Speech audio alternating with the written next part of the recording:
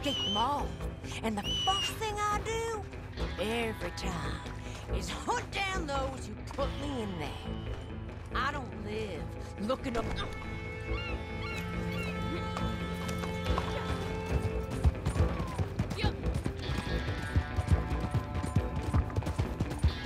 You think I won't be able to find you? You think I don't know who sent you?